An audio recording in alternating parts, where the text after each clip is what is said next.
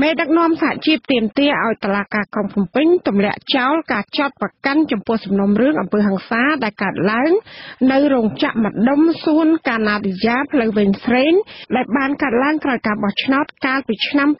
2013ចាក្រមសហជីពទាំងនោះចាត់ទុកថាការចោទប្រកាន់ពាក់ព័ន្ធនឹងសំណុំរឿងនេះគឺមានលក្ខណៈនយោបាយសុទ្ធសាធនៅក្នុងរបបលោកហ៊ុនសែនចាពីរដ្ឋធានី Washington លោកហេងរស្មីរាយការណ៍អំពីបញ្ហានេះ នៅមុនមួយថ្ងៃមុនពេលតុលាការក្រុងភ្នំពេញគ្រងនឹងប្រកាសសាលក្រមចំពោះសំណុំរឿងដ៏រសើបមួយតាក់ទិននឹងអំពើហិង្សានៅសួនឧស្សាហកម្មកាណាឌីយ៉ាកាលពីឆ្នាំ2013ក្រុមមេដឹកនាំសហជីពឯករាជ្យបានទាមទារឲ្យតុលាការរបស់របបលោកហ៊ុនសែនទម្លាក់ចោលការចោទប្រកាន់ទាំងស្រុងដើម្បីបើកផ្លូវឲ្យពួកគេមានសេរីភាពពេញលេញឡើងវិញដើម្បីចូលរួមទាមទាររកយុត្តិធម៌ក្នុងសង្គម។ លិខិតកោះអញ្ជើញរបស់តុលាការក្រុងភ្នំពេញដែលអាស៊ីសេរីទទួលបានកាលពីថ្ងៃច័ន្ទទី10ខែធ្នូបានបញ្ជាក់ឲ្យដឹងថាបើពុំមានអ្វីប្រែប្រួលទេនៅថ្ងៃអង្គារនេះតុលាការនឹងប្រកាសសាលក្រមលើសំណុំរឿងមេដឹកនាំសហជីពទាំង6នាក់ដែលជាប់សង្ស័យថាពាក់ព័ន្ធនឹងអំពើហិង្សាដែលកើតមានឡើងក្រោយពីការបោះឆ្នោតឆ្នាំ2013កន្លងទៅក្រុមមេដឹកនាំសហជីពទាំង6រូបដែលតុលាការក្រុងភ្នំពេញបានចោទប្រកាន់រួមមាន ប្រធានសហភាពសហជីពកម្ពុជាលោករងឈុនប្រធានសហជីពសេរីកម្មករនៃព្រះរាជាណាចក្រកម្ពុជាលោកជាមនីប្រធានសហភាពការងារកម្ពុជាលោកអាត់ធុនប្រធានសម្ព័ន្ធសហជីពកម្ពុជាលោកស្រីយ៉ាងសុភ័ណ្ឌប្រធានសម្ព័ន្ធសហជីពចលនាកម្មករកម្ពុជាលោកប៉ៅស៊ីណានិងប្រធានសហព័ន្ធសហជីពជាតិនៃឧស្សាហកម្មវេយនភ័ណ្ឌលោកស្រីមុំញឹមមេដឹកនាំសហជីពទាំងនោះត្រូវបានតឡាការចោទប្រកាន់3បទល្មើស គឺប្រព្រឹត្តអំពើហិង្សាដោយចេតនាមានស្ថានទម្ងន់ទោសបទធ្វើឲ្យខូចខាតដោយចេតនាមានស្ថានទម្ងន់ទោសនិងបទប្រើប្រាស់មធ្យោបាយដើម្បីជាឧបសគ្គដល់ចរាចរណ៍សាធារណៈដែលបានប្រព្រឹត្តនៅសួនឧស្សាហកម្មកាណាឌីយ៉ាផ្លូវវែងស្រេងកាលពីថ្ងៃទី25ខែធ្នូឆ្នាំ2013ដល់ថ្ងៃទី13ខែមករាឆ្នាំ2014បទល្មើសនេះមានចែងឲ្យផ្ដន្ទាទោសតាមបទបញ្ញត្តិមាត្រា218 មាត្រា411មាត្រា429នៃក្រមព្រហ្មទណ្ឌនិងមាត្រា78នៃច្បាប់ស្តីពីចរាចរណ៍ផ្លូវគោកដែលបទល្មើសនេះអាចជាប់ពន្ធនាគារពី2ឆ្នាំរហូតដល់5ឆ្នាំ និងពិន័យជាប្រាក់ពី8លានរៀលរហូតដល់10លានរៀលប្រធានសហភាពសហជីពកម្ពុជាលោករងឈុនបានបញ្ជាក់ថាលោកមិនទាន់បានទទួលដីកាកោះអញ្ជើញពីតុលាការនៅឡើយលោកបានបញ្ជាក់ថាលោកនឹងមិនទៅចូលរួមស្ដាប់ការប្រកាសសាលក្រមនេះទេ ដោយលោកចាត់ទុកថាលោកមិនបានធ្វើអ្វីខុសដោយមានការចោទប្រកាន់នោះឡើយស្នើឲ្យតុលាការទម្លាក់ចោលរឿងព្រមតែម្ដងជុំវិញករណីបណ្ដឹងខាងនយោជកបណ្ដឹងពីព្រោះពួកជាមិនបានប្រព្រឹត្តតែខុសទៅតាមអ្វីដែលវាការចោទនៅក្នុងពាក្យបណ្ដឹងនោះទេអាស៊ីសេរីមិនអាចតកតងព្រះរាជអាជ្ញារង និងជាអ្នកនាំពាក្យតុលាការក្រុងភ្នំពេញលោកលីសុផាណាដើម្បីស្នើសុំអត្ថាធិប្បាយជុំវិញរឿងនេះបានទេ កាលពីថ្ងៃអង្គារទី10ធ្នូដោយសារទូរស័ព្ទរបស់លោកហៅចូលហើយតែមិនមានអ្នកទទួលចំណែកឯលោកជួនជងីមេធាវីការពារក្តីជន់ជាប់ចោតលោកអាត់ធុននិងលោកប៉ៅស៊ីណាក៏មិនអាចស្នើសុំដើម្បីសេចក្តីអត្ថាធិប្បាយបំភ្លឺបានដែរគម្រោងប្រកាសសាក្រមរបស់តុលាការក្រុងភ្នំពេញចំពោះសំណុំរឿងអំពើហិង្សានេះ បានកើតមានឡើង បន្ទាប់ពីរបបលោកហ៊ុនសែនលើកឡើងសារជាថ្មីលើកទី2ប្រាប់ទៅក្រសួងយុតិធធនិងក្រសួងការងារឲ្យអន្តរាគមបញ្ចប់សំណុំរឿងមេសហជីពឲ្យបានឆាប់ចំណែកលោកហ៊ុនសែនក៏ចង់បញ្ចប់រឿងនេះឲ្យបានកាន់តែឆាប់ដែរខណៈពេលដែលសហភាពអឺរ៉ុបប្រមានលុបចោលគម្រោងអនុគ្រោះពន្ធគ្រប់ប្រភេទលើកលែងតែអាវុធដែលហៅកាត់ថា EBA ដោយសារតែរបបនេះបានធ្វើឲ្យការគោរពសិទ្ធិមនុស្សនិងលទ្ធិប្រជាធិបតេយ្យដើរថយក្រោយ។ កាលពីចុងឆ្នាំ2013និងដើមឆ្នាំ2014មានក្រុមកម្មករបានដឹកនាំធ្វើបាតកម្មដោយហិង្សាមួយដែលបានកើតមានឡើងនៅក្រៅការបោះឆ្នោតជ្រើសរើសសភាតំណាងរាស្ត្រអាណត្តិទី5នៅផ្លូវវែងស្រេងយ៉ាងតិចមានកម្មករប្រមាណ4នាក់ត្រូវគេសង្ស័យថាកងកម្លាំងមានសមត្ថកិច្ចរបស់របបក្រុងភ្នំពេញបានបាញ់សម្លាប់និងជាច្រើនអ្នកផ្សេងទៀតបានរងរបួសរហូតមកដល់ពេលនេះ អ្នកនៅពីក្រោយខ្នងនៃការបាញ់សម្លាប់ទៅលើក្រុមកម្មករមិនទាន់នាំយកមកកាត់ទោសនៅឡើយ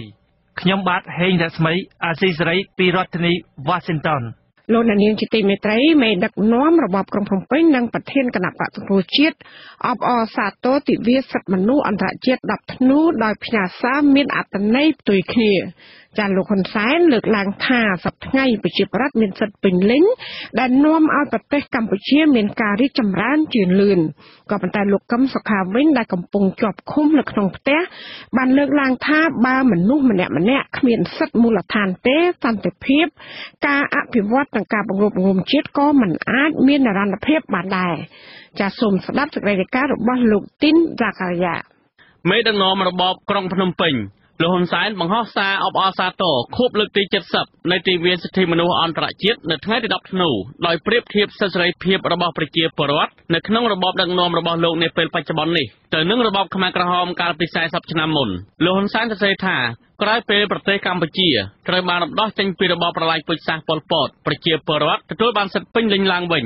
រហូតដល់សប្តាហ៍ថ្ងៃនេះ លោកលើកឡើងទៀតថាដោយសារតែប្រជាពលរដ្ឋមានសិទ្ធិសេរីភាពបែបនេះហើយបានធ្វើឲ្យប្រទេសជាតិមានភាពរីកចម្រើនទៅមុខនិងប្រកបដោយសន្តិភាពចំណែកសាររបស់ប្រធានគណៈបកសង្គ្រោះជាតិលោកកម្មសខាដែលជាប់ឃុំខ្លួននៅក្នុងផ្ទះឯនោះវិញក៏បានបង្ហោះសារលើទំព័រ Facebook កាលពីថ្ងៃទី9ធ្នូចូលរួមអបអរសាទរទិវាសិទ្ធិមនុស្សអន្តរជាតិ10ធ្នូនេះដែរដោយលោកកម្មសខាសរសេរថាសិទ្ធិមនុស្សគឺជាគ្រឹះនៃជីវិតរបស់មនុស្សគ្រប់រូប បើមនុស្សម្នាក់ម្នាក់គ្មានសិទ្ធិជាមូលដ្ឋានទេសន្តិភាពអភិវឌ្ឍនិងការបង្រួបបង្រួមជាតិក៏មិនអាចមាននិរន្តរភាពដែរក្នុងសារមេបកប្រឆាំងដែលកំពុងជាប់ឃុំនៅក្នុងផ្ទះនោះសរសេរបញ្ជាក់ទៀតថាដើម្បីឲ្យសង្គមជាតិមានសាមគ្គីភាពសន្តិភាពនិងអភិវឌ្ឍលោកស្នើឲ្យខ្មែរគ្រប់រូបគួរបញ្ឈប់ការធ្វើឲ្យខ្មែរដូចគ្នាឈឺចាប់ ដោយត្រូវចាប់ផ្ដើមពីការគោរពសិទ្ធិគ្នាទៅវិញទៅមកហើយបង្កើតឲ្យមានបរិយាកាសសង្គមមួយដែលខ្មែរគ្រប់និន្នាការមានសិទ្ធិមូលដ្ឋានដូចជាសិទ្ធិរស់រានមានជីវិតសិទ្ធិតាំងទីលំនៅពិសេសគឺសិទ្ធិក្នុងការបញ្ចេញមតិយោបល់និងចូលរួមកសាងសង្គមដោយគ្មានការភ័យខ្លាចនិងរើសអើងរីឯលោកហ៊ុនសែនវិញក៏បន្ថែមទៀតដែរថាប្រជាពលរដ្ឋក្រៅពីមានសិទ្ធិសេរីភាពនោះគឺអាចប្រកបមុខរបរការងារចិញ្ចឹមជីវិតជ្រើសរើសជំនឿសាសនានិងបោះឆ្នោតជ្រើសតាំងមេដឹកនាំដែលខ្លួនពេញចិត្ត ដោយសេរីគឺមិនដូចសម័យខ្មែរក្រហមដែលបិទសិទ្ធិសេរីភាពមនុស្សទាំងអស់នោះឡើយអ្នកខ្លោមើលផ្នែកអភិវឌ្ឍសង្គមបណ្ឌិតមាសនេះលើកឡើងថាសិទ្ធិមនុស្សនៅកម្ពុជាបច្ចុប្បន្ននេះមិនគួរយកទៅប្រៀបធៀបទៅនឹងរបបខ្មែរក្រហមទេ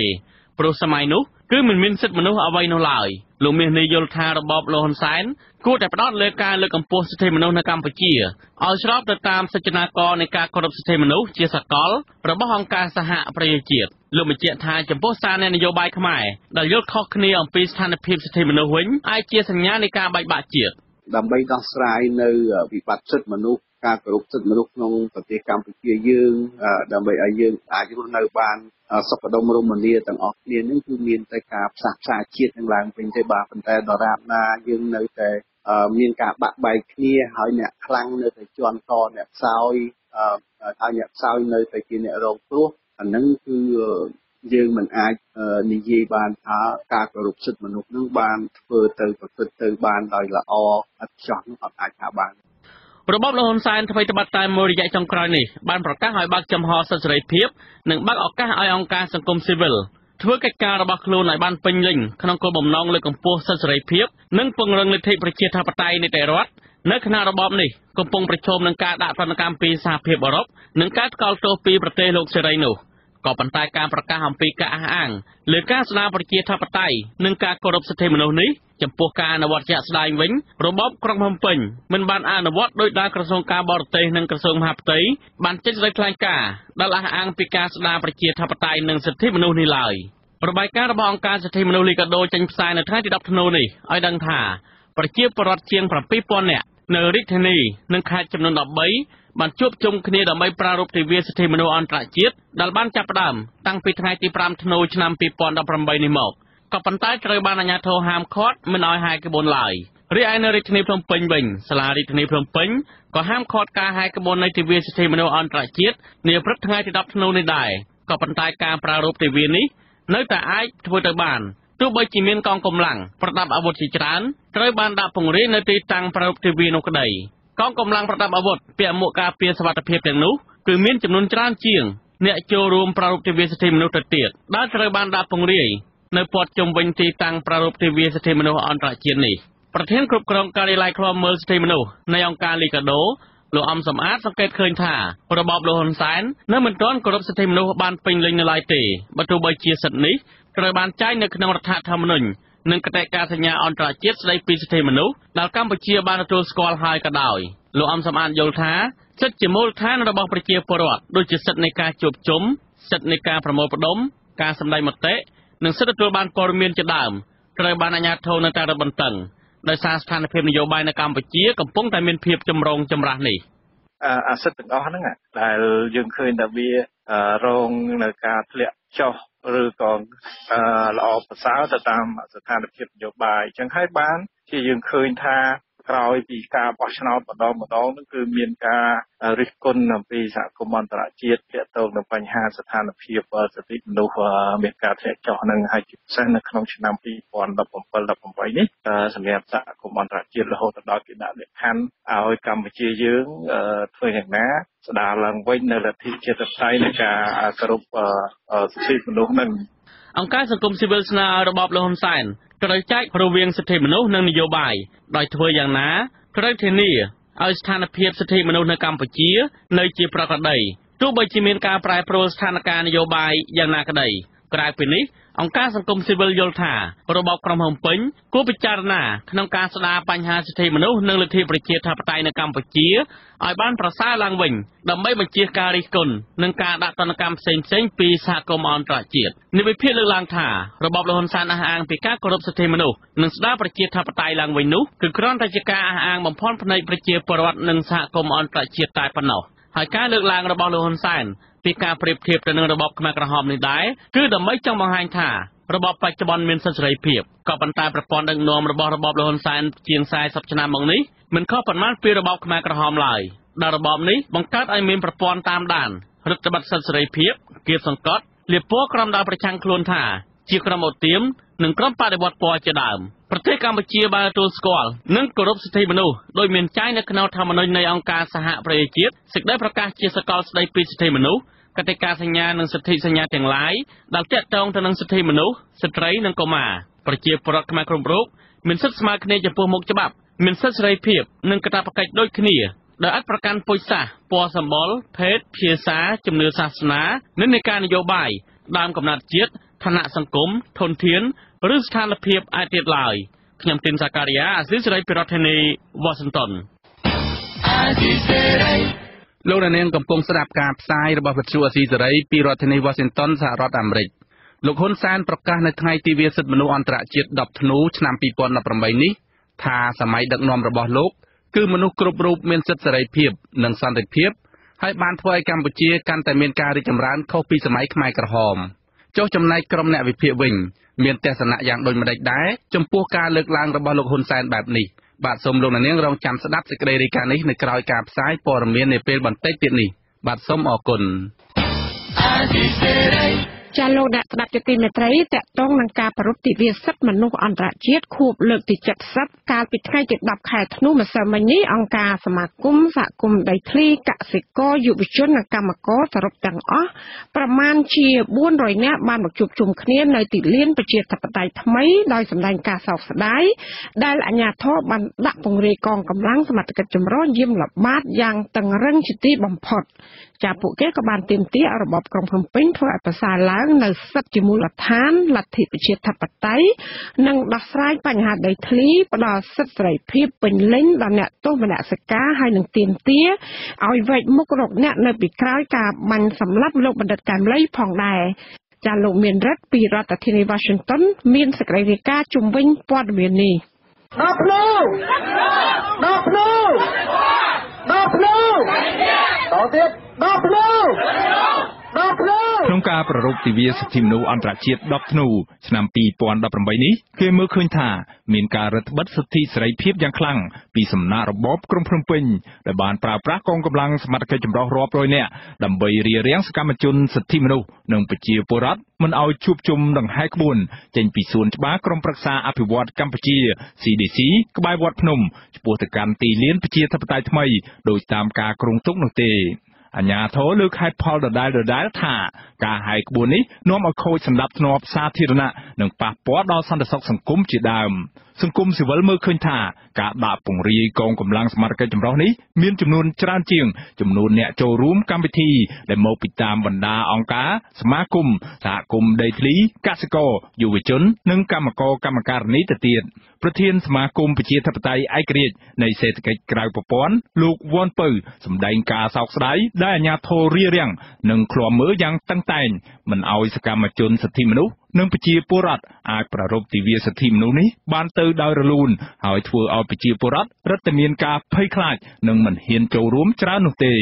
ជាប៉ះពាល់ដល់សេរីភាពនៃការបញ្ចេញមតិនិងការគម្រាមកំហែងខ្លាំងមែនទែនពីព្រោះជាគម្រោងអ្នកចូលរួម1000នាក់ឯនោះប៉ុន្តែដោយសារមានប៉ូលីសជ្រោងច្រាងច្រើនប្រជាពលរដ្ឋគាត់ព្រួយបារម្ភគាត់មានការភ័យខ្លាចអញ្ចឹងគាត់ត្រឡប់ទៅផ្ទះរៀងរៀងខ្លួនគឺនៅសល់តែ3ទៅ400នាក់តែប៉ុណ្ណោះដល់ព្រឹកមិញនេះទី2គឺជាការគម្រាមកំហែងនៃការសេរីភាពបញ្ចេញមតិរបស់យើងទាក់ទងទៅនឹងការសម្ដែងមតិនៅតាមទីសាធារណៈដែលរដ្ឋធម្មនុញ្ញដែលបានធានាហើយរដ្ឋធម្មនុញ្ញក៏បានទទួលស្គាល់នៅអនុសញ្ញាកសិកាសញ្ញាក៏ដូចជាសេចក្តីប្រកាសជាសកលរបស់អង្គការសហជីវជាតិប៉ុន្តែយើងឃើញថាមិនត្រូវបានអនុវត្តដោយអាជ្ញាធររដ្ឋាភិបាលទេកាលពីព្រឹកមិញលោកវ៉ាន់ពៅបន្ថែមថាក្នុងឆ្នាំ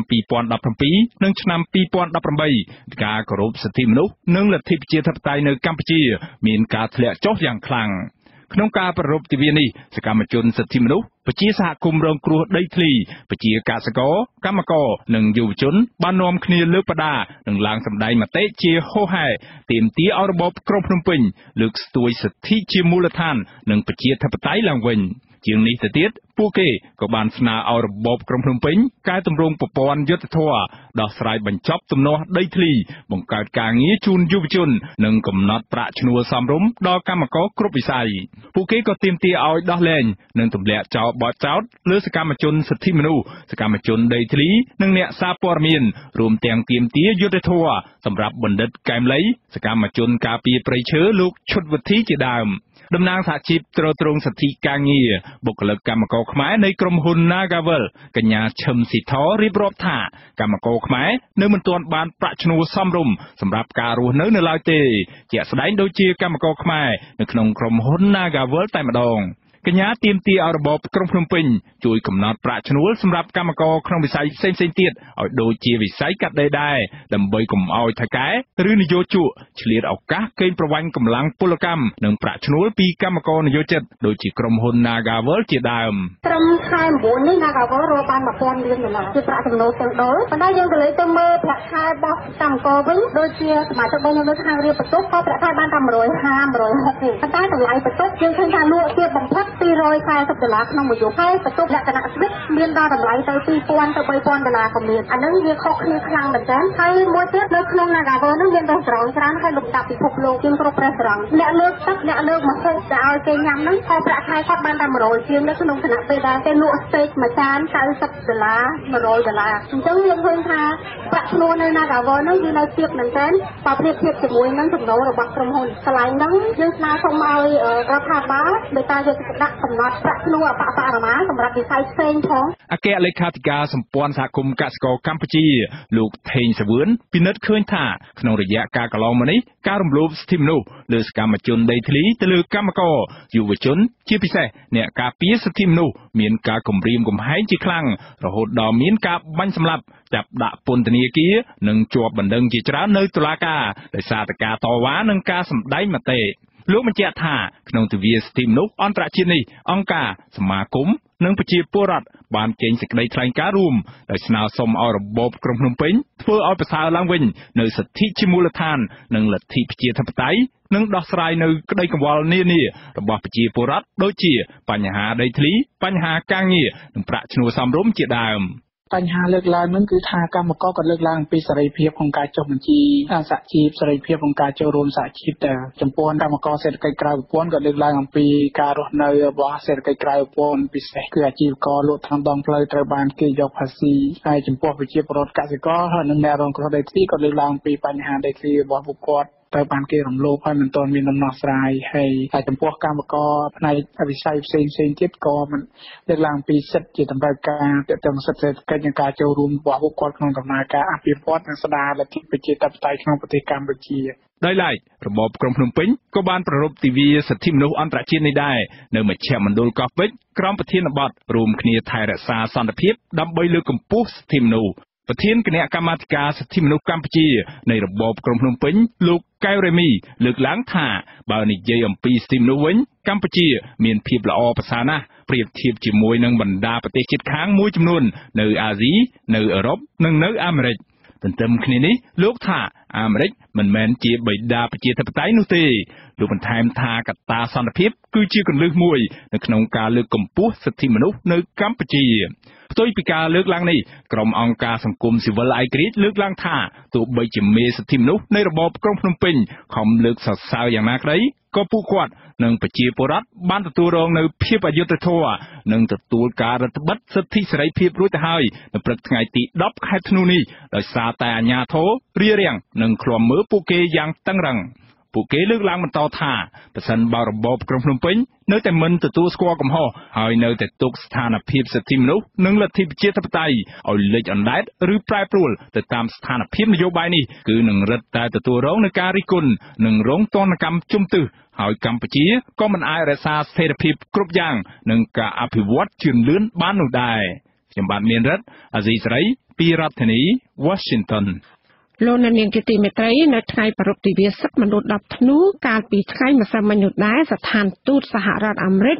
ប្រចាំនៅកម្ពុជា បានអំពាវនាវឲ្យមានការទម្លាក់ចោលការចោទប្រកាន់លើអ្នកនយោបាយ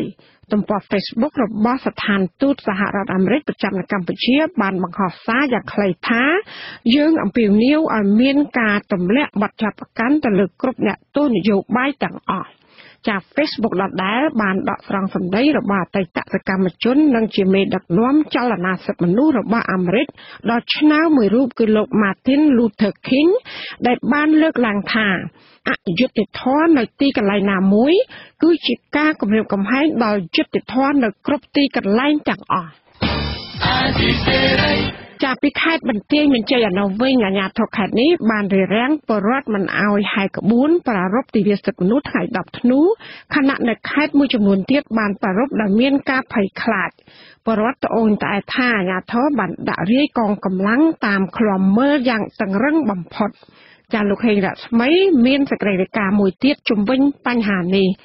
តំណាងសហគមន៍ដីធ្លីនៅក្រុងប៉ោយប៉ែតខេត្តបន្ទាយមានជ័យលោកវ៉ាន់វ៉ងថ្លែងប្រាប់អាស៊ីសេរីនៅព្រឹកថ្ងៃទី10ខែធ្នូថាក្បួនដង្ហែរបស់ប្រជាពលរដ្ឋមានគ្នាជិត100នាក់ធ្វើដំណើរតាមគោយន្តនិងម៉ូតូជាច្រើនគ្រឿងហើយបានជួបមន្ត្រីប៉ូលីសក្រុងប៉ោយប៉ែតស្ទាក់ឃាត់ជាប់នៅឃុំកូនដំរីសង្កាត់និមិត្តតំណាងសហគមន៍ដីធ្លីរូបនេះបានសម្ដែងការខឹងសម្បារនិងសមត្ថកិច្ចដែលបានរារាំងពួកគេនេះថាជាការបិទសេរីភាពរបស់ប្រជាពលរដ្ឋ ដែលមិនអាចសម្ដែងមតិនិងផ្ញើសារពីទុកលំបាករបស់ខ្លួនទៅមន្ត្រីថ្នាក់ដឹកនាំកម្ពុជាកម្ពុជារបបលោកហ៊ុនសែន ដើម្បីឲ្យជួយដោះស្រាយទំនាស់ដីធ្លីដ៏រ៉ាំរ៉ៃដែលអាជ្ញាធរមូលដ្ឋានមិនបានដោះស្រាយជូនពួកគាត់ខ្ញុំសោកស្ដាយដែរដោយសារតែមន្ត្រីទាំងអស់ហ្នឹងមិនធ្វើការបម្រើប្រជាពលរដ្ឋដោយសារតែបទសិទ្ធិប្រជាពលរដ្ឋយើងខ្ញុំក៏ចង់ផ្ដាំទៅនាយករដ្ឋមន្ត្រីដែរមើលមន្ត្រីសាសក្រោមផងដោយសារឲ្យប្រជាពលរដ្ឋធ្វើការដប់ធ្នូនេះបើនិយាយទៅដូចជាបិទសិទ្ធខ្លាំងណាស់ដប់ធ្នូនេះបើនិយាយទៅគឺគោរពទូទាំងប្រទេសក៏លោកទាំងអស់ហើយដល់ពេលគាត់បិទអញ្ចឹងមានន័យថា វា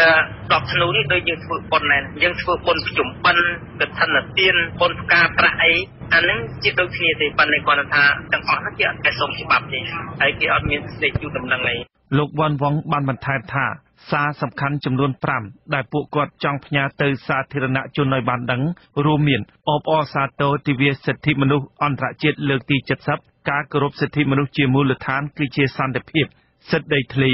និងសិទ្ធិលំនៅឋានគឺជាសិទ្ធិមនុស្សអំពើពុករលួយ ជាឫសគល់នៃការរំលោភសិទ្ធិមនុស្សប្រព័ន្ធតុលាការឯករាជ្យនិងការគោរពសិទ្ធិមនុស្សជាដើម អាស៊ីសេរីមិនអាចតាក់ទងលោកអភិបាលខេត្តបន្ទាយមានជ័យលោកសួនបវរដើម្បីសាកសួរជុំវិញបញ្ហានេះបានទេនៅថ្ងៃទី10ធ្នូដោយសារតែទូរស័ព្ទមិនអាចតាក់ទងបាន កាលពីថ្ងៃទី7ខែធ្នូលោកអភិបាលខេត្តបន្ទាយមានជ័យ លោកសួនបវរបានចេញលិខិតជូនដំណឹងមិនអនុញ្ញាតឲ្យសហគមន៍ដីធ្លីចំនួន250នាក់មកពីស្រុកថ្មពួកម៉ាឡៃអូជ្រៅនិងសហគមន៍ផ្លូវរទេះភ្លើងក្រុងប៉ោយប៉ែតប្រពៃទិវាសិទ្ធិមនុស្សនៅថ្ងៃទី10ធ្នូដែលសហគមន៍ស្នើសុំរៀបចំនៅមាត់ស្ទឹងព្រះពន្លាក្រុងសេរីសុភ័ណ្ឌមុខមន្ទីរពាណិជ្ជកម្មខេត្តនោះទេហើយអាជ្ញាធរបានឲ្យពួកគាត់ធ្វើពិធីនៅតាមស្រុករៀងៗខ្លួនវិញ ទោះជាយ៉ាងនេះក្តីមន្ត្រីសម្របសម្រួលផ្នែកសិទ្ធិមនុស្សអង្គការលីកាដូខេត្តបន្ទាយមានជ័យលោកអិនកុងចិត្តបានចាត់ទុកការរារាំងនេះថាគឺជាការរឹតបន្តឹងសេរីភាពរបស់ប្រជាពលរដ្ឋដែលមិនអាចសម្ដែងមតិបាន ដែលផ្ទុយពីបទបញ្ជារបស់ក្រសួងមហាផ្ទៃដែលបានអនុញ្ញាតឲ្យមន្ត្រីអង្គការសង្គមស៊ីវិលសហគមន៍និងមន្ត្រីសហជីពអាចធ្វើសកម្មភាពឲ្យបានពេញលេញដោយមិនចាំបាច់ស្នើសុំច្បាប់នោះទេលោកថា អាញាធរធ្វើបែបនេះប្រជាពលរដ្ឋមិនអាចសម្ដែងមតិផ្ញើសារពីទុកលំបាករបស់ខ្លួនទៅសាធារណជនឲ្យបានដឹងទូលំទូលាយបានឡើយយើងឃើញថាប្រហែលឆ្នាំមុនសហគមន៍ប្រជាពលរដ្ឋដែលរងគ្រោះដីធ្លីក៏អាចប្រកទិវាសិទ្ធិមនុស្សនឹងបានហើយយើងឃើញថាចម្លែកតែឆ្នាំនេះអាជ្ញាធរខេត្តបែរជាមិនឲ្យគាត់អាចប្រកទិវានឹងបាន ចឹងនេះជាការរដ្ឋបិទសេរីភាពរបស់ពួកគាត់ពួកគាត់មានសិទ្ធិជួបជុំហើយនឹងសម្ដែងមតិរបស់គាត់ដែលគាត់អបអរសាទរនឹងផ្លាកការនៃសេចក្តីថ្លែងការណ៍ជាស្គាល់នៃសិទ្ធិមនុស្សដែលគាត់បានផ្ដល់តម្លៃពីសេចក្តីកាត់ជាស្គាល់នៃសិទ្ធិមនុស្សមន្ត្រីអង្គការសង្គមស៊ីវិលរូបនេះបានបន្ថែមថាពិធីនេះប្រជាពលរដ្ឋ មានត្រឹមតែជួបប្រជុំគ្នានៅតាមមូលដ្ឋានរយៈពេលខ្លីតែប៉ុណ្ណោះដោយមិនអាចដើរហាយក្បួនទៅដល់គោលដៅនៅក្រុងសេរីសុភ័ណ្ឌដោយការគ្រោងទុកនោះទេព្រោះអាជ្ញាធរមូលដ្ឋានបានហាមឃាត់ហាយក្បួនមិនឲ្យពួកគាត់ធ្វើដំណើរទៅមុខបានឡើយក្នុងនោះស្រុកខ្លះអាជ្ញាធរបានបង្ខំប្រជាពលរដ្ឋឲ្យត្រឡប់ទៅផ្ទះវិញទៀតផងដោយលើកហេតុផលថាគ្មានច្បាប់អនុញ្ញាតបើទោះបីជាពួកគាត់បានសមច្បាប់ក៏ដោយក៏ប៉ុន្តែប្រជាពលរដ្ឋបានលើកឡើងថារឿងនេះ ទំនងជាអាញាធរភ័យខ្លាចប្រជាពលរដ្ឋនិយាយប៉ះពាល់ដល់ការគ្រប់គ្រងរបស់ខ្លួនទើបបានជារារាំងមិនឲ្យពួកគាត់គោរពទិវាសិទ្ធិមនុស្សចំណែកឯនៅខេត្តព្រះវិហារឯណោះវិញប្រជាពលរដ្ឋនិងមន្ត្រីអង្គការសង្គមស៊ីវិលនិងអ្នកដែលពាក់ព័ន្ធរាប់រយនាក់បានប្រពទិវាសិទ្ធិមនុស្សនេះនៅទីរួមខេត្តក្រោមការឃ្លាំមើលពីសមត្ថកិច្ចយ៉ាងតឹងតែងអ្នកនាំពាក្យសមាគមសិទ្ធិមនុស្សអាត6លោកសង្សានករណាមានប្រសាសន៍ថាប្រជាពលរដ្ឋ មិនហ៊ានបញ្ចេញមតិឲ្យបានទូលំទូលាយដោយដែលពួកគាត់កំពុងរងទុក្ខនោះទេដោយសារតែខ្លាចអាជ្ញាធរធ្វើទុកបុកម្នេញនៅថ្ងៃក្រោយរីឯនៅខេត្តតកែវវិញនាយកកម្មវិធីសមាគមខ្មែរក្រមដើម្បីសិទ្ធិមនុស្សនិងអភិវឌ្ឍលោកសឿនជុំជួនឲ្យអាស៊ីសេរីដឹងថាប្រជាពលរដ្ឋខ្មែរក្រមប្រមាណ100នាក់បានជួបប្រជុំគ្នាធ្វើពិធីសិទ្ធិមនុស្សនេះនៅក្រុងដូនកែវ លោកថាអាញាធរបានបង្កប់កម្លាំងសមត្ថកិច្ចជាច្រើនអ្នកឃ្លាំមើលប្រជាពលរដ្ឋធ្វើឲ្យពួកគាត់មិនអាចបញ្ចេញមតិឲ្យបានវែងឆ្ងាយនោះទេអង្គការឃ្លាំមើលសិទ្ធិមនុស្សបាននិយាយថាបើទោះបីជាអាញាធរក្រុងភ្នំពេញកាលពីពេលថ្មីថ្មីនេះបានប្រកាសបើកទូលាយរឿងសេរីភាពជួបប្រជុំរបស់ប្រជាពលរដ្ឋក៏ដោយហើយជាពិសេសនៅថ្ងៃនេះទិវាសិទ្ធិមនុស្សអន្តរជាតិក៏នៅតែមានការរឹតបន្តឹងសេរីភាពការសម្ដែងមតិរបស់ប្រជាពលរដ្ឋនៅតែបន្តកើតមានឡើងដដែល។ ខ្ញុំបាទហេងរស្មី អាស៊ីសេរីពីរដ្ឋធានីវ៉ាស៊ីនតោនចាលោកនាងកញ្ញាកំពុងស្ដាប់ការផ្សាយរបស់វិទ្យុអាស៊ីសេរីដែលផ្សាយចេញពីរដ្ឋធានី Washington នាយិកាមជ្ឈមណ្ឌលសិទ្ធិមនុស្សកម្ពុជាអ្នកត្រីច័កសុភាព បានទទួលពានរង្វាន់សិទ្ធិមនុស្សនិងនីតិរដ្ឋរបស់បារាំងនិងអាល្លឺម៉ង់ឆ្នាំ2018កាលពីថ្ងៃទី10ខែធ្នូម្សិលមិញដែលជាទិវាគម្រប់ខួប70ឆ្នាំនៃសេចក្តីប្រកាសជាសកលស្តីពីសិទ្ធិមនុស្សរបស់អង្គការសហប្រជាជាតិ អ្នកស្រីច័ក្សសុភាពបានថ្លែងប្រាប់អធិសេរីថាពានរង្វាន់នេះគឺជាកិត្តិយសដ៏ធំមួយសម្រាប់ប្រទេសកម្ពុជាជាពិសេសគឺចំពោះកិច្ចប្រឹងប្រែងរបស់អង្គការក្រៅរដ្ឋាភិបាលសមាគមនិងសហគមន៍នានាដែលបានចូលរួមយ៉ាងសកម្មក្នុងកិច្ចការពារនិងតស៊ូមតិដើម្បីការគោរពសិទ្ធិមនុស្សនិងលទ្ធិប្រជាធិបតេយ្យចាអ្នកស្រីសង្ឃឹមថារបបក្រុងភ្នំពេញនឹងទទួលស្គាល់នូវកិច្ចប្រឹងប្រែងរបស់សកម្មជនសិទ្ធិមនុស្សទាំងនោះក្នុងការបំពេញការងាររបស់ពួកគាត់ដោយសេរីនិងតម្លាភាពហើយខ្ញុំសូមចែករំលែកនៅពានរង្វាន់នេះជូនដល់កម្មជនសិទ្ធិមនុស្សទាំងអស់ដែលបានពលីទាំងកម្លាំងពេលវេលាហើយនឹងមានសិទ្ធិមានសកម្មជនជាច្រើននៅក្នុងប្រទេសកម្ពុជានេះគួរតែទទួលបាននៅការទទួលស្គាល់នេះច្រើនច្រើនថែមទៀតចាហើយទន្ទឹមនឹងនេះចាជាសារមួយសម្រាប់ប្រទេស កម្ពុជាយើងជាពិសេសគឺរដ្ឋាភិបាលក្នុងការដែលគាត់អាចទទួលស្គាល់នូវគុណតម្លៃរបស់កម្មជនដូចគ្នាហើយសម្រាប់ខ្ញុំខ្ញុំសង្ឃឹមថាប្រទេសកម្ពុជាយើងនឹងធានានូវការការពារដល់សុវត្ថិភាពធានានៅសេរីភាពមូលដ្ឋានរបស់សហគមន៍ដែលគាត់អាចបំពេញនៅប្រតិបត្តិការរបស់គាត់ដោយសេរីដោយមិនមានការភ័យខ្លាចចា៎ ចាសេចក្តីប្រកាសព័ត៌មានស្ថានទូតបារាំងនិងអាល្លឺម៉ង់កាលពីថ្ងៃទី10ខែធ្នូដែលបានដកត្រង់ប្រសាសន៍របស់ឯកអគ្គរដ្ឋទូតបារាំងលោកស្រី Eva Wiengbin និងឯកអគ្គរដ្ឋទូតអាល្លឺម៉ង់លោក Ingo Carsten បានឲ្យដឹងថាកិច្ចការពារលំហនយោបាយនិងលំហស៊ីវិលនៅតែជាកិច្ចការដ៏សំខាន់នៅក្នុងពិភពលោក ហើយថាការគោរពសិទ្ធិមនុស្សត្រូវបានរាប់បញ្ចូលនៅក្នុងកិច្ចព្រមព្រៀងសន្តិភាពទីក្រុងប៉ារីសដែលជាមូលដ្ឋានគ្រឹះនៃសហប្រតិបត្តិការជាមួយនឹងប្រទេសកម្ពុជាអ្នកស្រីច័កសុភីបបន្តថាមជ្ឈមណ្ឌលសិទ្ធិមនុស្សកម្ពុជានិងអង្គការក្រៅរដ្ឋាភិបាលជាច្រើនទៀតនឹងបន្តកិច្ចខំប្រឹងប្រែងការងាររបស់ខ្លួនដើម្បីការពារយុត្តិធម៌នីតិរដ្ឋព្រមទាំងលើកកម្ពស់ការគោរពសិទ្ធិមនុស្សនិងសេរីភាពជាមូលដ្ឋាន។ លោកអ្នកនាងអ្នកស្ដាប់ជាទីមេត្រីក្រៅពីទស្សនាតាមបណ្ដាញ YouTube និង Facebook វិទ្យុអសីសេរីក៏ផ្សាយតាមប្រព័ន្ធរលកធាតុអាកាសខ្លីឬ Shortwave តាមកម្រិតនិងកម្ពស់ដូចតទៅនេះពេលព្រឹកចាប់ពីម៉ោង5កន្លះដល់ម៉ោង6កន្លះតាមរយៈរលកធាតុអាកាសខ្លី11850 kHz ស្មើនឹងកម្ពស់ 25m និង9390 kHz ស្មើនឹងកម្ពស់ 32m ពេលយប់ចាប់ពីម៉ោង7កន្លះដល់ម៉ោង8កន្លះ តាមរយៈរលកធាតុអាកាសខ្លី9325 kHz ស្មើនឹងកម្ពស់ 32m និង15155 kHz ស្មើនឹងកម្ពស់ 20m បាទសូមអរគុណចាលោកអ្នកស្ដាប់យុតិមេត្រីដំណឹងដាច់ដライសមត្ថកិច្ចខេត្តសៀមរាបបានចាប់បញ្ជូនជនជាតិចិន9នាក់ ទៅសាលាដំបងខេត្តនេះពីបទចាប់ប្រកាន់ថាបានធ្វើសកម្មភាពចែកចាយរូបភាពអាហារភាសរបស់កុមារនៅតាមប្រព័ន្ធអ៊ីនធឺណិតចាសង្គមស៊ីវិលស្វាគមន៍ចំពោះចំណាត់ការនេះនិងទាមទារឲ្យសមត្ថកិច្ចរដ្ឋបន្តឹងវិធានការច្បាប់ទៅលើជនបរទេសទាំងអស់ឲ្យបានតឹងរឹងពីព្រោះថាខេត្តនេះគឺជាតំបន់ទេសចរប្រវត្តិសាស្ត្រលោកវ៉ាន់សុមេតិកាព័ត៌មាននេះជនសង្ស័យជាជនជាតិចិនចំនួន9នាក់ ដែលសមត្ថកិច្ចខេត្តសៀមរាបបានឃាត់ខ្លួនកាលពីថ្ងៃទី8ធ្នូត្រូវបានតំណាងអัยការអមសាលាដំបងខេត្តសៀមរាបលោកជួនសុបញ្ញារៀបចំសំណុំរឿងបញ្ជូនទៅសាលាដំបងខេត្តដើម្បីបន្តនីតិវិធីគេហទំព័រអគ្គស្នងការនគរបាលជាតិចុះផ្សាយថាកងកម្លាំងនៃការិយាល័យស៊ើបអង្កេតនិងអនុវត្តនីតិវិធីរួមជាមួយកងកម្លាំងចម្រុះរបស់អធិការដ្ឋានក្រុងសៀមរាបនិងប៉ុស្តិ៍រដ្ឋបាលសង្កាត់ថ្វាយដង្គមនិងសង្កាត់ស្លក្រាមកាលពីថ្ងៃទី8ធ្នូ បានចុះឃាត់ខ្លួនជនជាតិចិនចំនួន9នាក់នៅទីតាំង3កន្លែង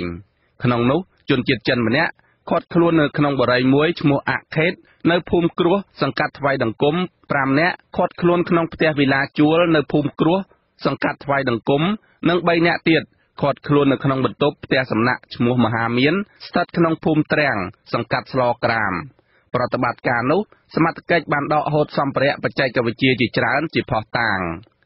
ជនជាតិចិនទាំង9នាក់នោះត្រូវបានចោទប្រកាន់ថាបានធ្វើសកម្មភាពចែកចាយរូបភាពអាហាររបស់កុមារតាមប្រព័ន្ធអ៊ីនធឺណិតប៉ុន្តែมันបានបញ្ជាក់ថាកុមាររងគ្រោះជាជនជាតិណានោះទេ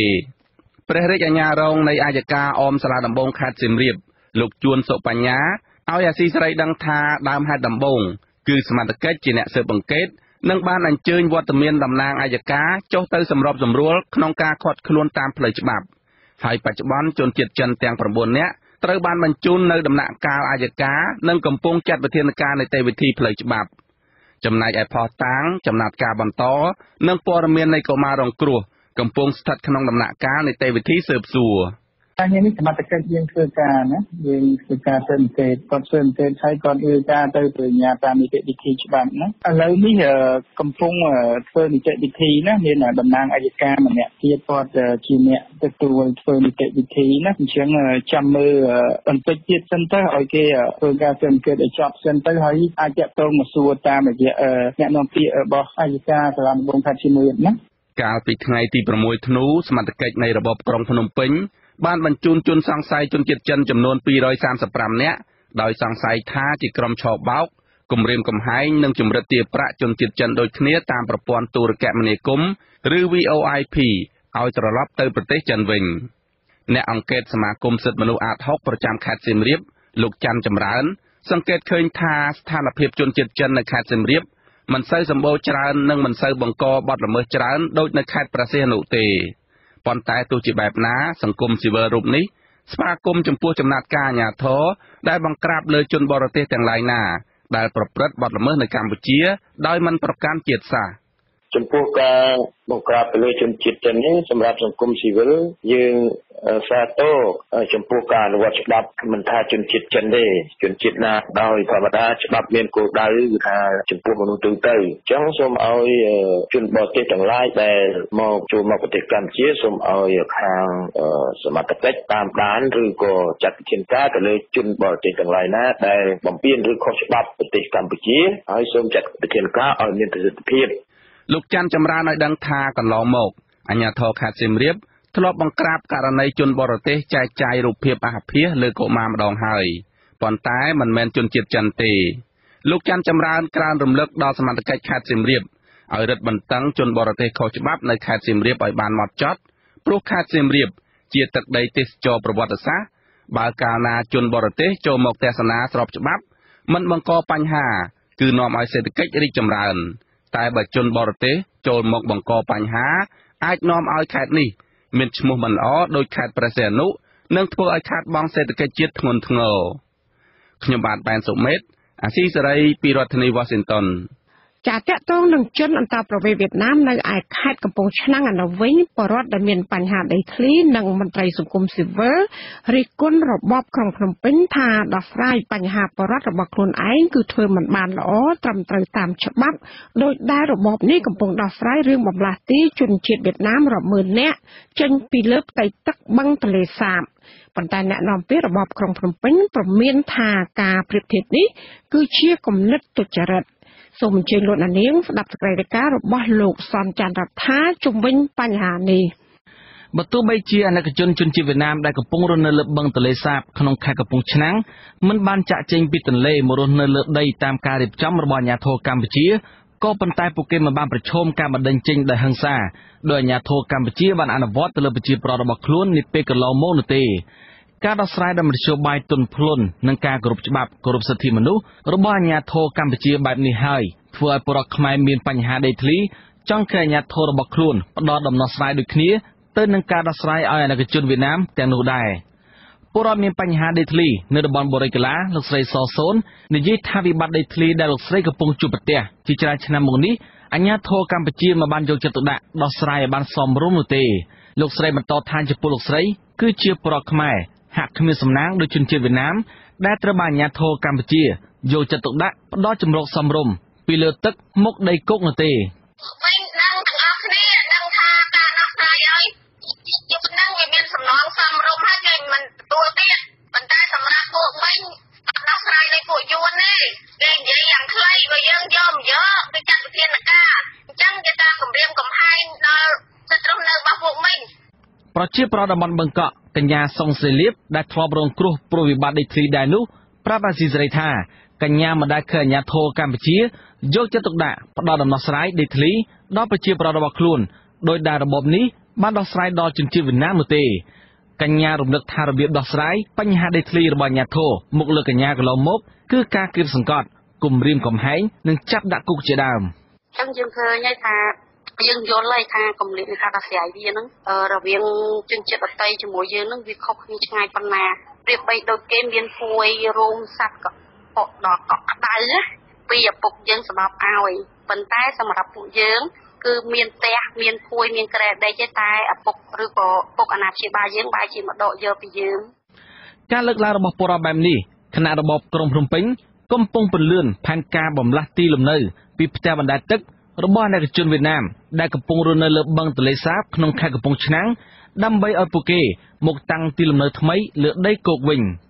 របបនេះថែមទាំងអះអាងថានឹងរៀបចំឲ្យមានហេដ្ឋារចនាសម្ព័ន្ធរួមមានផ្លូវទឹកភ្លើងសាលារៀនឬមន្ទីរពេទ្យជាដើមដល់ជនជាតិវៀតណាមទាំងអស់នេះអ្នកនាំពាក្យរបបក្រុងភ្នំពេញលោកផៃសិផានឲ្យដឹងថាអាញាធរកម្ពុជាដោះស្រាយបញ្ហាដីធ្លីគឺតាមច្បាប់និងគ្មានការរើសអើងអ្វីនោះទេ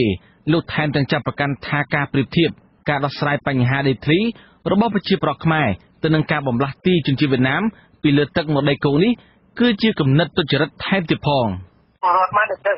រឿងដីធ្លីទៅតុលាការទៅទៅអង្គភាពដោះស្រាយរឿងដីធ្លីទៅប៉ុន្តែរឿងទីនេះបូកគ្នាបានតែប៉ុណ្្នឹងទៅបានហើយប៉ុន្តែអ្នកនាំពាក្យសមាគមអាត6លោកសឹងសានករណាចង់ឃើញអាញាធរកម្ពុជាផ្ដល់ដំណោះស្រាយបញ្ហាដីធ្លីដល់ប្រជារដ្ឋរបស់ខ្លួន ជាចំណុចអត្ថភាពជាងជនជាតិបរទេសមន្ត្រីសង្គមស្វររំនេះសង្កេតឃើញថាការដោះស្រាយបញ្ហាដីធ្លីរបស់អាញាធរកម្ពុជាកន្លងមកមកលើប្រជាប្រដ្ឋរបស់ខ្លួនមិនបានគោរពតាមច្បាប់ដែលមានស្រាប់នោះទេដែលទង្វើនេះខុសពីអ្វីដែលអាញាធរបានធ្វើចំពោះប្រជារដ្ឋវៀតណាមដែលរស់នៅកម្ពុជាឃើញថាវាហាក់ ដូចជាបង្ហាញថារដ្ឋាភិបាលកម្ពុជានឹងខ្វះការយកចិត្តទុកដាក់ទៅលើសិទ្ធិរបស់ពលរដ្ឋរបស់ខ្លួន ជាងទៅលើសិទ្ធិជនបរទេសដែលគេបានមករស់នៅក្នុងប្រទេសកម្ពុជាយើងហើយក្នុងក្នុងគណៈដែលពលរដ្ឋកម្ពុជាកំពុងតែមានបញ្ហាវិវាទដីធ្លីមានបញ្ហាចំណាក់ស្រុកដោយសារខ្វះខាតនៅដីដើម្បីធ្វើកសិកម្មចិញ្ចឹមជីវភាពគ្រួសារជាដើម របាយការណ៍អាជ្ញាធរខេត្តកំពង់ឆ្នាំងបង្ហាញថាមានជនអន្តោប្រវេសន៍វៀតណាមរស់នៅលើទឹកប្រមាណ2397គ្រួសារក្នុងនោះមានផ្ទះបណ្ដែតទឹកជាង1000ខ្នងសមាគមវៀតណាមធ្លាប់ស្នើទៅក្រសួងមហាផ្ទៃដើម្បីសុំពន្យាពេលផ្លាស់ទីលំនៅបរិវត្តរបស់ខ្លួនពីផ្ទៃបឹងទន្លេសាបក្នុងខេត្តកំពង់ឆ្នាំងឲ្យមករស់នៅលើដីគោកវិញនេះដោយលើកហេតុផលថាទីតាំងថ្មីនោះគ្មានហេដ្ឋារចនាសម្ព័ន្ធប្រព័ន្ធទឹកភ្លើង និងមន្ទីរពេទ្យជាដើម។ ប៉ុន្តែក្រសួងមហាផ្ទៃបានបដិសេធចំពោះសំណើនេះស្របពេលដែលអាជ្ញាធរកម្ពុជា កំពុងដំណើរការនៃការបញ្ជូនជនជាតិវៀតណាមឡើងលើដីគោកនាយករដ្ឋមន្ត្រីវៀតណាមបានបង្កប់ប្រមុខការទូតកម្ពុជាឲ្យដោះស្រាយឲ្យបានដិតដល់រឿងវៀតណាមដែលរស់នៅលើផ្ទៃបឹងទន្លេសាបនេះចំណែករដ្ឋមន្ត្រីក្រសួងការបរទេសលោកប្រាក់សុខុនបានធានាអះអាង ប្រាប់ទៅនាយករដ្ឋមន្ត្រីវៀតណាមថាអាញាធរកម្ពុជា មានគម្រោងសាងសង់លំនៅឋានថ្មីសម្រាប់ផ្ដល់ដល់អ្នកជនវៀតណាម ដែលនឹងត្រូវរើទីលំនៅថ្មីទៅកាន់ដីគោកវិញទៅនោះខ្ញុំសនចាររថាអាស៊ីសេរីរាយការណ៍ពីរដ្ឋធានី Washington អាស៊ីសេរី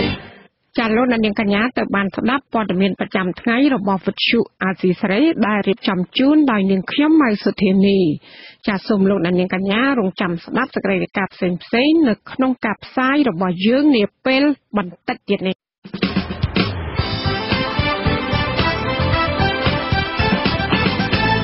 លោកអ្នកនាងអ្នកស្ដាប់ជាទីមេត្រីនៅក្នុងការផ្សាយជាបន្តទៅទៀតនេះយើងខ្ញុំមានសេចក្តីរាយការណ៍ស្ដីអំពីលោកហ៊ុនសែនប្រៀបធៀបការរីកចម្រើនក្នុងរបបរបស់លោក ថាខុសពីសម័យខ្មែរក្រហម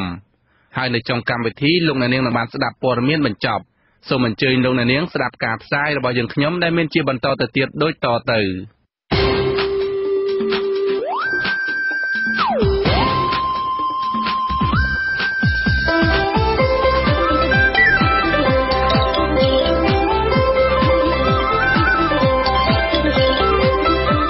ក្តីរាយការណ៍ពិស្ដា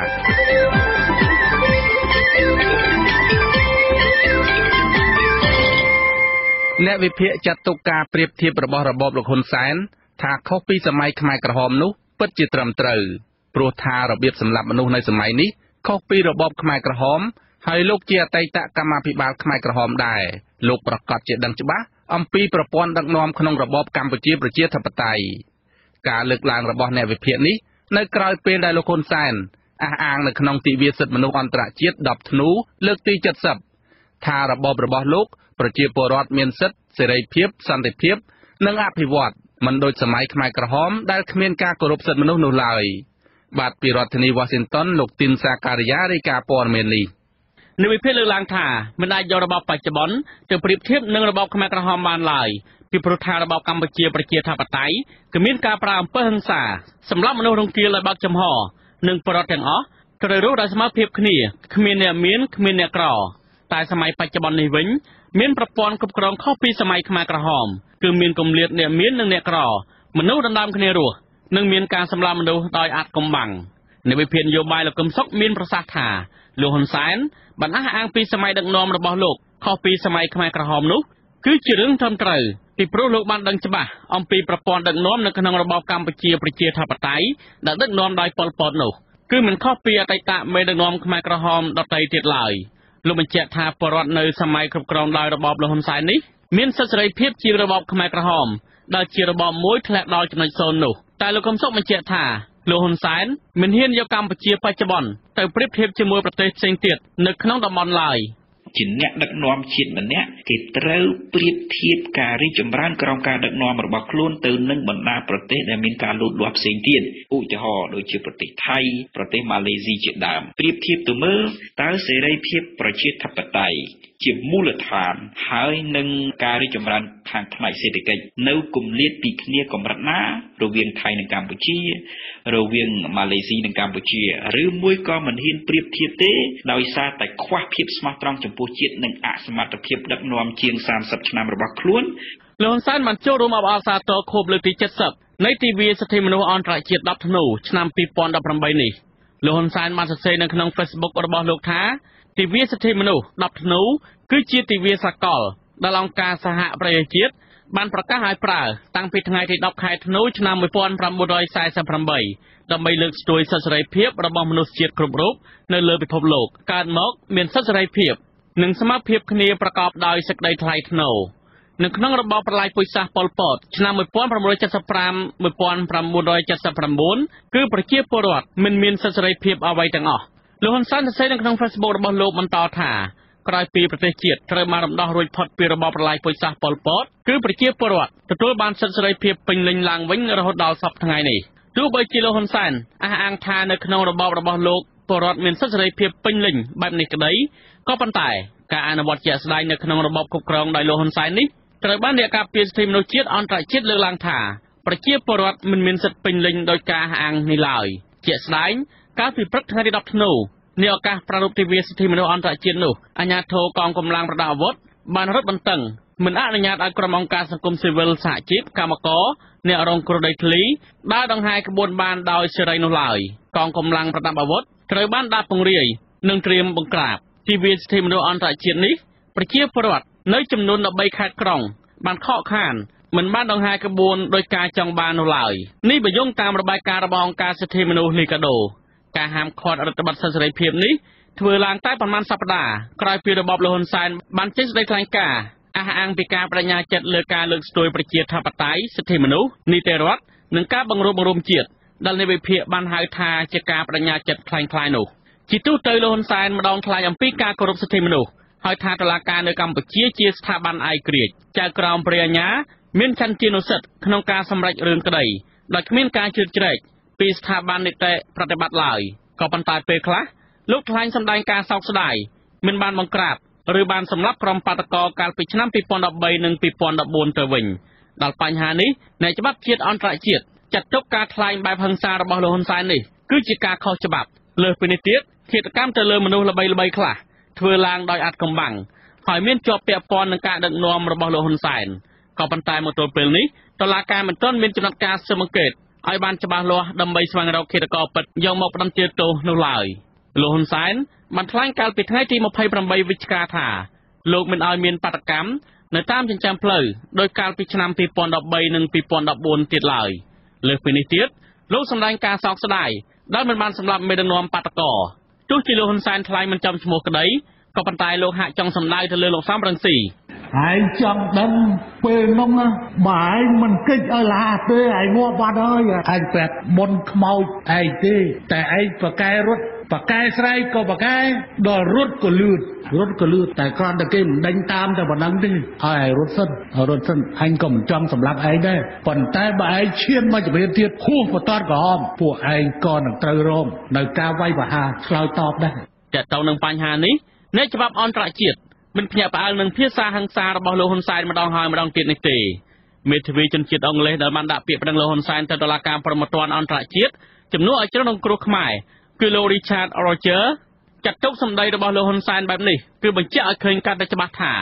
ការបាញ់សម្លាប់បាតកោកាលពីដើមឆ្នាំ2014នោះគឺធ្វើឡើងក្រោមការបញ្ជារបស់លោកជាពិសេសការសម្លាប់មនុស្សដោយកងកម្លាំងប្រដាប់អាវុធរបស់កងកម្លាំងឆ័ត្រយោង911 ដែលដឹកនាំដោយលោកចាភក្តីជាដើមលោក Richard Roger បន្ថែមថា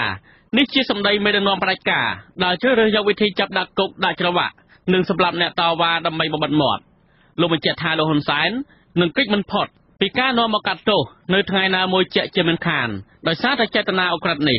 លោកបន្ថែមថាការគំរាមឬចេតនាសម្លាប់មនុស្សដោយគ្មានហេតុផលផ្លូវច្បាប់នេះគឺជាធាតុផ្សំនៃបទល្មើស threatening to kill someone ការដែលលោកហ៊ុនសែនថ្លែងជាសាធារណៈអំពីការចង់សម្លាប់មនុស្សបែបនេះគឺរឹតតែបញ្ជាក់យ៉ាងច្បាស់អំពីចេតនាអក្រិតដែលជាបទអក្រិតព្រហ្មទណ្ឌមួយនេះគឺជាការអាម៉ាស់មួយដែលលោកហ៊ុនសែននៅក្នុងនាមជាមេដឹកនាំមិនស្ដាប់មតិពលរដ្ឋខ្លួនឯងតែបែរជាជ្រើសរើសយកវិធីគំរាមសម្លាប់មនុស្សដែលប្រឆាំងខ្លួនបែបនេះទៅវិញនេះក៏សបញ្ជាក់ឲ្យឃើញច្បាស់ថាកម្ពុជាសពថ្ងៃគ្មានទេប្រជាធិបតេយ្យនោះ the lack of democracy ទាំងលោកសំរងស៊ីទាំងលោកមេធាវី Richard Roger អះអាងថាលោកហ៊ុនសែនជាឃាតករតាំងពីសម័យខ្មែរក្រហមដល់សម័យបច្ចុប្បន្នលោកសំរងស៊ីចោទលោកហ៊ុនសែនថាជាមេដឹកនាំប្រើអំពើហិង្សាដើម្បីបានឡើងកាន់អំណាចនិងបន្តក្រោយអំណាចរបស់ខ្លួនដល់បច្ចុប្បន្ននេះទៀតលោកសំរងស៊ីអះអាងថាដោយសារតែលោកហ៊ុនសែនជាមេដឹកនាំបែបហិង្សានិងផ្ដាច់ការនេះហើយទើបលោកមិនញញើតនិយាយអំពីការសម្លាប់មនុស្សម្ដងហើយម្ដងទៀតនោះរបាយការណ៍របស់អង្គការសិទ្ធិមនុស្សអន្តរជាតិ Human Rights Watch រកឃើញថាលោកហ៊ុនសែន បានប្រព្រឹត្តបទអក្រិតប្រឆាំងមនុស្សជាតិចាប់តាំងពីលោកបានកាន់តួនាទីជាមេបញ្ជាការកងទ័ពខ្មែរក្រហមក្នុងអំឡុងទសវត្សរ៍ឆ្នាំ70លោកក្នុងទសវត្សរ៍90លោកបានជាប់ពាក់ព័ន្ធនឹងការសម្លាប់មនុស្សក្រៅច្បាប់ក្នុងរដ្ឋប្រហារការគប់គ្រាប់បែកទៅលើវងបាតកោចាប់តាំងពីទសវត្សរ៍91មកលោកបានប្រើតួនាទីជានាយករដ្ឋមន្ត្រីដឹកនាំប្រទេសពោពេញដោយការរំលោភសិទ្ធិមនុស្សដ៏ធ្ងន់ធ្ងររួមមានអំពើកាប់សម្លាប់មនុស្សក្រៅច្បាប់ទរណកម្មការឃុំខ្លួនត្រួតត្រា និងការបង្កើតបណ្ដាញស៊ើបការរាយការណ៍នៅពាសពេញប្រទេសក្នុងគោលបំណងបំផិតបំភ័យយុទ្ធសាស្ត្រចម្បងជាងគេរបស់លោកហ៊ុនសែនគឺការគម្រាមកំហែងនិងការប្រើប្រាស់កងកម្លាំងដើម្បីកម្ចាត់អ្នករិះគន់ឬអ្នកប្រឆាំងលើសពីនេះទៀតនៅក្នុងរបបគ្រប់គ្រងរបស់លោកហ៊ុនសែននេះមានច្បាប់ជាច្រើនបានបង្កើតឡើងក្នុងទិសដៅធ្វើឲ្យមានសន្តិសុខសុវត្ថិភាពនិងយុត្តិធម៌សង្គមក៏ប៉ុន្តែការអនុវត្តច្បាប់ជាក់ស្ដែងវិញត្រូវបានសហគមន៍ជាតិអន្តរជាតិរិះគន់ថា ប្រព័ន្ធតុលាការនៅកម្ពុជាស្ថិតនៅក្រោមសម្ពាធរបស់គណៈបកកណ្ដាលអំណាចអំពើឃាតកម្មជាច្រើនបានកើតមានយ៉ាងអាត់កំបាំងករណីខ្លះជាប់ពាក់ព័ន្ធនឹងនយោបាយដូចជាករណីលោកជាវិជាប្រធានសហជីពស្រីកម្មករ លោកឈុតវុធីប្រធានអង្គការការពារធនធានធម្មជាតិលោកកែមលីនិងមនុស្សមួយចំនួនផ្សេងទៀតទោះបីជាមានការកលទោសនិងការអំពាវនាវឲ្យចាប់ឃាតករពិតយកមកកាត់ទោសក៏ដោយក៏មិនត្រូវបានតុលាការចាប់បានឃាតករពិតយកមកផ្ដន្ទាទោសនោះឡើយទាក់ទងនឹងបញ្ហានេះលោកកឹមសុខអះអាងថានៅក្នុងរបបខ្មែរក្រហមគឺមានប្រព័ន្ធសម្រាប់មនុស្សធ្វើឡើងដោយផ្ទាល់និងដោយចំហគឺមិនធ្វើដោយប្រយោលដោយរបបបច្ចុប្បន្ននេះឡើយហើយប្រព័ន្ធតុលាការនៅសម័យនេះក៏មិនមែនជាទីពឹងរបស់ប្រជាពលរដ្ឋខ្មែរគ្រប់រូបក្នុងការស្វែងរកយុត្តិធម៌នោះដែរគាត់អាចបិទសិទ្ធិសេរីភាពប្រជាពលរដ្ឋនៅក្នុងទ្រង់ទ្រាយមួយអាចបន្លំបានយូរជាងខ្មែរក្រហមដោយសារគាត់បើកខ្លះគាត់គម្រាមខ្លះគាត់បំផ្លាញខ្លះរហូតទៅដល់សម្លាប់ខ្លះហើយខ្មែរក្រហមធ្វើដោយផ្ទាល់ដែលធ្វើឲ្យក្រុមនេះដួលរលំកាន់តែឆាប់រដ្ឋធម្មនុញ្ញក្នុងរបបកម្ពុជាប្រជាធិបតេយ្យ អំឡុងឆ្នាំ1976ក៏សំអាងទៅលើសាលាជំនុំជម្រះក្តីនិងតុលាការដែរក្នុងការស្វែងរកយុត្តិធម៌ក៏ប៉ុន្តែប្រព័ន្ធតុលាការនេះខ្មែរក្រហមមិនដាល់បានបង្កើតឡើងឡើយហើយច្បាប់ជាលិលាអសរក៏គ្មានតុលាការក៏គ្មានដែរនៅក្នុងរបបកាប់សម្លាប់នេះខ្មែរក្រហមនឹងចាប់ខ្លួនហើយយកទៅសម្លាប់ចោលចំពោះអ្នកណាដែលគេចោទថាបានក្បត់អង្គការនិងមនុស្សមួយចំនួន ត្រូវបានគេលេបពណ៌ថាជាខ្មាំងជាដើមវប្បធម៌លេបពណ៌នេះបានបន្សល់ទុកដល់របបបច្ចុប្បន្ននេះដែរមនុស្សមួយចំនួនដែលប្រឆាំងនៅរបបលហ៊ុនសែនត្រូវបានចាប់ខ្លួននិងសម្លាប់ទោះជារដ្ឋធម្មនុញ្ញនៅក្នុងសម័យបច្ចុប្បន្នយ៉ាងហោចណាស់ក៏មានចែងចំនួន19មាត្រាបានកំណត់អំពីសិទ្ធិកាតព្វកិច្ចនិងប្រជាពលរដ្ឋគ្រប់រូបមានសិទ្ធិរស់រានមានជីវិតមានសេរីភាពហើយគ្មានទោសប្រហារជីវិតយ៉ាងណាក្តីខ្ញុំទីនសាការីយ៉ាអស៊ីសេរីប្រធានាធិបតីវ៉ាស៊ីនតោន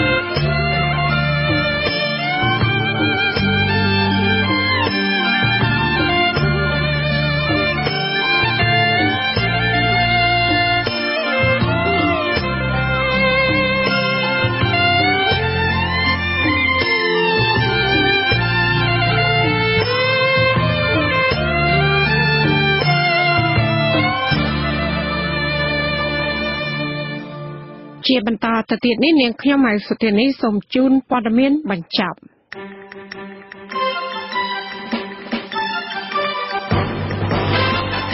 មេដឹកនាំសហជីពទាមទារឲ្យតុលាការក្រុងភ្នំពេញទម្លាក់ចោលការចោទប្រកាន់ចំពោះសំណុំរឿងអំពើហិង្សា ដែលកើតឡើងនៅរោងចក្រម្ដុំសួនកាណាឌីយ៉ាផ្លូវវែងស្រេងដែលបានកើតឡើងក្រោយការបោះឆ្នោតកាលពីឆ្នាំ2014ក្រុមសហជីពទាំងនោះចាត់ទុកថាការចោទប្រកាន់ពាក់ព័ន្ធនឹងសំណុំរឿងនេះគឺមានលក្ខណៈនយោបាយសុទ្ធសាធ មេដឹកនាំរបបក្រុងភ្នំពេញនិងប្រធានគណៈបក្សសង្គ្រោះជាតិអបអរសាទរទិវាសិទ្ធិមនុស្សអន្តរជាតិ10ធ្នូដោយផ្ញើសារមានអត្ថន័យផ្ទុយគ្នាចាលោកហ៊ុនសែនលើកឡើងថាសប្តាហ៍ថ្ងៃនេះប្រជាប្រដ្ឋមានសិទ្ធិសេរីភាពពេញលេញដែលជាហេតុនាំឲ្យប្រទេសកម្ពុជា មានភាពរីកចម្រើនជាលឿនក៏ប៉ុន្តែលោកកឹមសុខាវិញដែលកំពុងជាប់ឃុំនៅក្នុងផ្ទះបានលើកឡើងថាបើមនុស្សម្នាក់ម្នាក់គ្មានសិទ្ធិមូលដ្ឋានទេសន្តិភាពការអភិវឌ្ឍនិងការបង្រួបបង្រួមជាតិក៏មិនអាចមាននិរន្តរភាពបានដែរ តកតងនឹងការប្រពៃទិវាសិទ្ធិមនុស្សអន្តរជាតិខួបលើកទី70កាលពីថ្ងៃទី10ខែធ្នូអង្គការសមាគមសហគមន៍ដីធ្លីកសិករយុវជននិងកម្មករដែលមានសរុបទាំងអស់ប្រមាណជា400នាក់បានមកជួបជុំគ្នានៅទីលានប្រជាធិបតេយ្យថ្មីហើយបានសម្ដែងការសោកស្ដាយដែលអាជ្ញាធរបានដាក់ពង្រាយកងកម្លាំងសមត្ថកិច្ចចម្រុះយាមល្បាតយ៉ាងតឹងរឹងជាទីបំផុត។ ពួកគេក៏បានទាមទារឲ្យរបបក្រុងភ្នំពេញធ្វើឲ្យប្រសើរឡើងនៅសិទ្ធិជាមូលដ្ឋានលទ្ធិប្រជាធិបតេយ្យនិងការដោះស្រាយបញ្ហាដីធ្លីផ្ដល់សិទ្ធិសេរីភាពពេញលេញដល់អ្នកទោសមនសិការនិងទាមទារឲ្យវែកមុខរកអ្នកដែលនៅពីក្រោយការបាញ់សម្លាប់លោកបណ្ឌិតកែមលី ចានៅថ្ងៃប្រពៃទិវាសិទ្ធិមនុស្ស10ធ្នូកាលពីម្សិលមិញនោះដែរស្ថានទូតសហរដ្ឋអាមេរិកប្រចាំនៅកម្ពុជា បានអំពាវនាវឲ្យមានការទម្លាក់ចោលការចោទប្រកាន់លើអ្នកនយោបាយទាំងអស់ទំព័រ Facebook របស់ស្ថានទូតសហរដ្ឋអាមេរិកប្រចាំកម្ពុជា បានបង្ហោះសារយ៉ាងខ្លីថា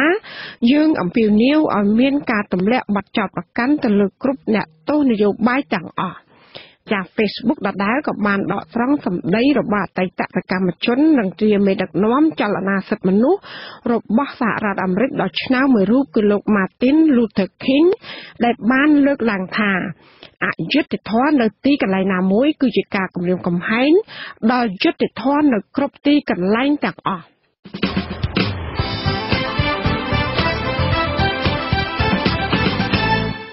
លោកអ្នកនាងអ្នកស្ដាប់ជាទីមេត្រីការផ្សាយរយៈពេល1ម៉ោងនៃវិទ្យុអស៊ីសេរីជាភាសាខ្មែរនៅពេលនេះចប់តែប៉ុណ្ណេះចាយើងខ្ញុំទាំងអស់គ្នាសូមជូនពរលោកអ្នកនាងនិងក្រុមគ្រួសារទាំងអស់